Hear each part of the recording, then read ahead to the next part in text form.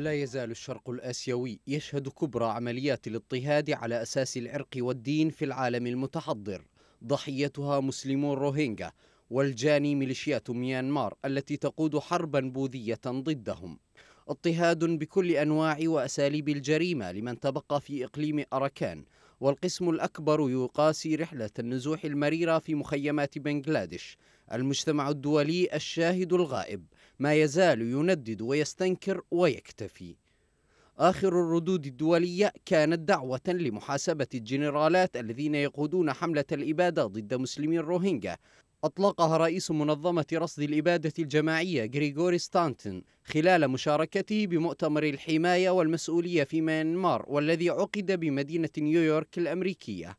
ستانتن دعا إلى إقامة محاكم دولية من أجل محاسبة المتورطين في أحداث الإبادة الجماعية وشدد على ضرورة أن تقود حملة المحاكمة دول لها ثقلها السياسي وتأثيرها كالولايات المتحدة وكندا وأخرى تمثل قارات العالم أجمع كالأرجنتين والسنغال وماليزيا.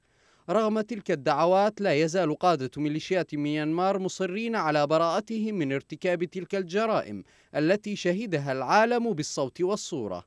حيث قدمت حكومة ميانمار تقريرا للأمم المتحدة نفت فيه كل التهم الموجهة لها في سياق الإبادة التي يتعرض لها مسلمو الروهينجا منظمة هيومن رايتس ووتش فندت تقرير حكومة ميانمار جملة وتفصيلا وأكدت بالأدلة القاطعة قيام الميليشيات البوذية بأعمال اغتصاب وقتل وجرائم مروعة وكلها تنفذ بدافع العنصرية والتعصب. مأساة متواصلة منذ عدة عقود وعاش الأحفاد تجربة الأجداد المرة. وأصبحت تلك القضية في دائرة الإجماع الدولي على أن مسلمي الروهينجا أكثر المضطهدين عالميا على أساس الدين. لكن مسلسل الجريمة مستمر وليس للمجتمع الدولي كعادته حين يكون الأمر متعلقا بشعوب المسلمين إلا التعليق والتعبير عن القلق.